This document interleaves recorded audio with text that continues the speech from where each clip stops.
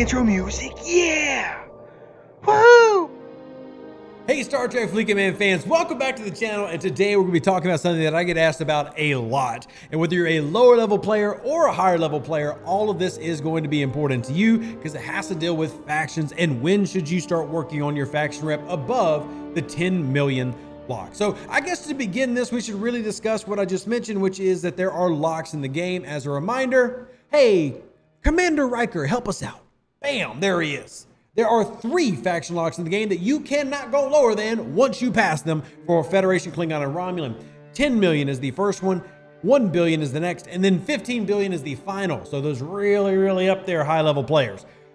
You will not go below that. So you see, my Federation is locked at 10 million. Now, if you remember, I hunt Federation every time y'all watch a stream or a video. I'm hunting Federation hostiles. That's okay, because I've locked it at 10 million. It will not go below, so I'll stay positive in that rep. And I've got all three of my factions positive. You actually click the little faction button at the top right of your screen. You'll see that my Klingon is almost celebrated, and I've kept it under for this video to talk about the importance of that. And then you've got my Romulan, which is my highest at 156, heading to glorified. And of course, Rogue and Augment. Rogue, yes, behind. Feel free to shame me in the comment section below. So let's talk about why all this is important and what it means to you as a strategy. Now, if you have questions about faction grinding and stuff, as always, encourage you to check out the Discord. It's something I've been getting a lot of questions about, and this is actually what inspired this video, is players asking on the Discord. And if you're a level 28 player, you need to know what's coming in the future. But if you're a level 39 player, maybe you've been listening to my advice for camping at 35 or 39, or maybe you're just looking to see what's the best strategy for you, that's why we're making this video about rep grinding. And there are a couple of resources I want to show you real quick to kind of help with that decision. So for example, this is one from the Kelvin Memorial Archive showing you the various levels of rep throughout the game. You know, going from one to you know 15 billion, everything in the different ranks for that. I also want to show you this one that I really like because we're focusing mostly on going to 1 billion, the next lock for a lot of players and when to do that. So this is from uh, NCC 1887, who has a blog spot. He made this graphic, so shout out to that, but showing you the various requirements for when we go up in level. And this is important because if you're thinking about going, let's say you're level 39 and you've got dual faction lock or tri-faction lock at 10 million. When should you start working on that next tier? Well, this is going to really help make that decision for you because once you hit 30 million, remember that Klingon one, switch it back there. See my Klingon almost at 30 million. Here's what's going to change. This graphic helps you. At 30 million, you're going to have to start mining four star materials instead of three star. You're also going to have to start going through more difficult hostiles. You see at the 30 million mark here. At 10 million, it's not that bad hitting 39s. But once you hit 30 million, those go up to 41s. Obviously, that is very difficult to do if you are not in deep space. Now, for those that do not remember, deep space is access to the main mission tree at level 38. So you have to level 38 to even enter into that area, not counting actually beating any of those hostiles. So bear that in mind. So you're going to switch to higher level hostile hitting as well as four star mining at 30 million rep, which is celebrated. So that's going to be part of your decision making process. When are you ready to do that? Now, a couple things can help with that. So if we back out this real quick and hit our system button, if you come down here to territory, and I guess let me go ahead and um, pop off that graphic, you'll see that there are four star areas here that you can mine from. For example, my Alliance IA on server 20 has got Corva Alpha, giving me the ability to mine four star ore. Or if I come over here, you've got Aegis, who has Tholus Alpha four star crystal. Or if we go up, up, up, up, up, and we'll find Mikala Alpha, four star gas. The three star sets in this game in territory give you the ability to mine four star materials, which will help with completing your dailies. But unless your alliance actually has two sets, it can be very, very difficult to get both what you're looking for. So remember, at level 38, you can access deep space and warp 60 is where you can kind of get those early independent systems and everything but for many players, it's going to be difficult to get out there. Now, I'm going to swap ships real quick because I want to pick something that doesn't have warp range so y'all can kind of see what I'm talking about. Because if you have warp range, it won't show you the requirements. But if you look in Federation space, this is one of your first ability, uh, the first system in Fed space to allow you to mine gas, and that is Ghosting. But you need warp 65 to get there. Now you can get that with an Enterprise, a Franklin A, or you know, not a Horizon, but a Meridian, an ISS Jellyfish. You know, there's a lot of ships that can get you here, but you've got to be able to prepare for that. So you're going to be probably an upper 30s player. So if you hit 30 million rep at level 33, well, you're really unable to start, you know, completing a lot of the things the game requires. And when you're not completing your dailies, you're putting yourself in a hole in a bad way. You want to be able to complete the dailies to get your photon tokens, to get your shields every day, and then also just to get the materials that you're hoping to get when you're progressing through the game. So if that makes sense, good, because it's logical.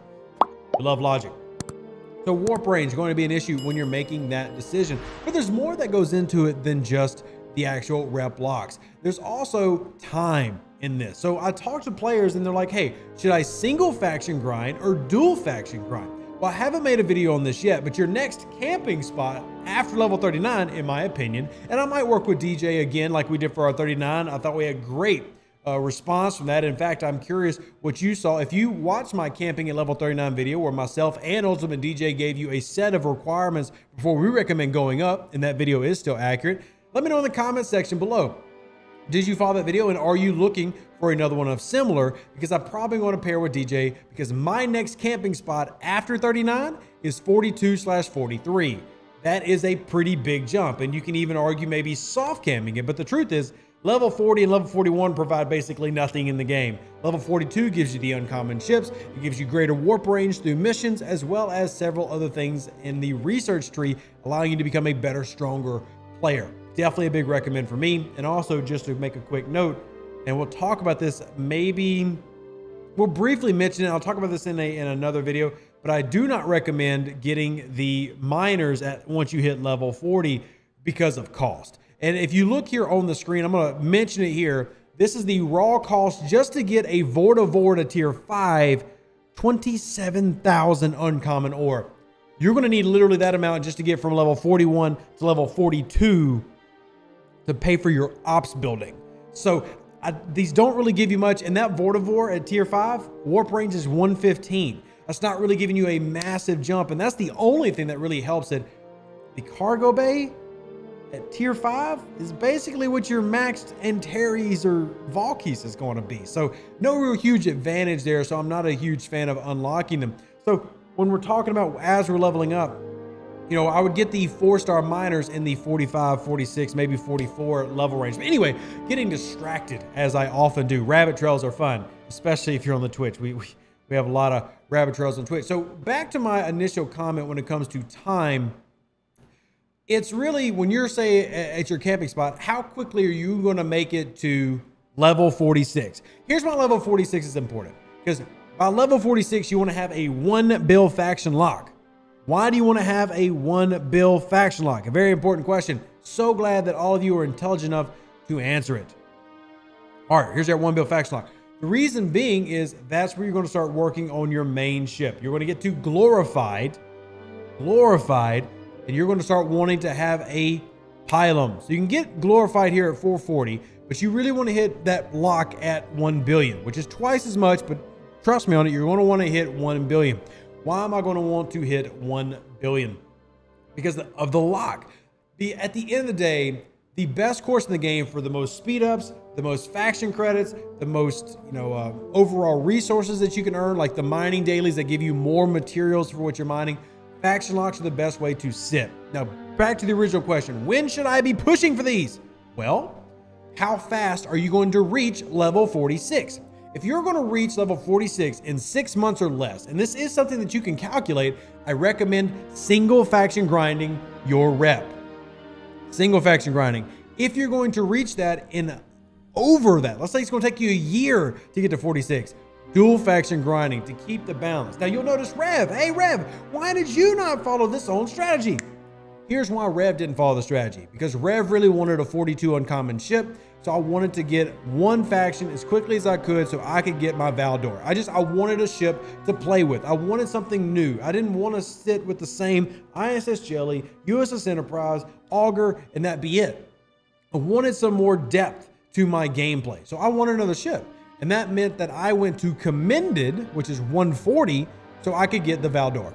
And the Katinga which I will get when my Klingon hits 140. See right here. Sorry, right there. Right. See, Commended, bam. I will get a Katinga and I'll, I'm trying to dual faction lock. So right now I'm focusing on catching up my Klingon. I'm only doing Klingon dailies and my Klingon event. And now through faction grinding, my Romulan rep is not dropping below 140. In fact, it's still growing because it's so large already. Now that's a decision that I made personally, but I also camped at 39 and then I flew to 42. I mean, if y'all remember, I was basically in January, level 40, in February, level 42, and that's how quickly I progressed. But I camped for that. So I jumped from 39 to 42 very, very quickly.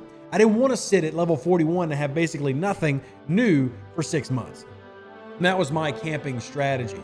I still recommend dual faction grinding because it's going to be a long time Some 46. Once I get my Klingon caught up, I'm just going to bring them both to 1 billion. And by the time I've done that, I will reach glorified with both of these factions, thus allowing me to get both the ships, the Pilum and the Korinar. But that's my strategy. And I'm curious your strategy in the comment section below. Feel free to drop it.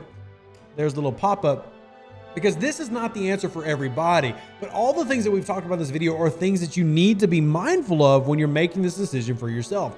Are you ready to grind out four star materials in mining and hit higher level hostiles? Do you have access to even do that? Can you afford the relocation tokens to constantly jump from deep space to uh, shallow space? Do you have your maxed out discovery to help with summoning?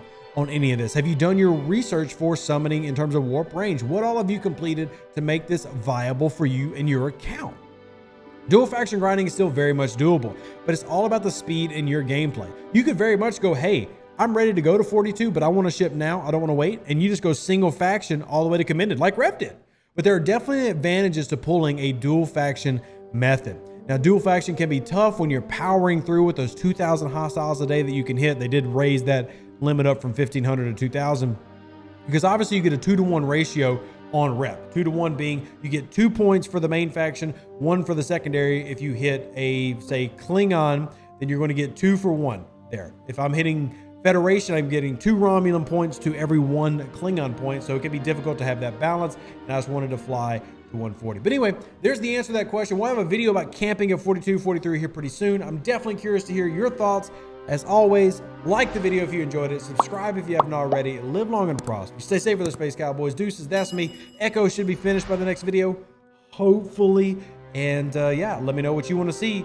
All you got to do is jump into my Discord. Myself and every content creator for this game can see the channel. If you want to see a video made, we will love to help you out. We're here for the players. We really appreciate y'all watching our content. Deuces, see you on the next one. Howdy. An even better outro than the intro for the Empire and glory to your house.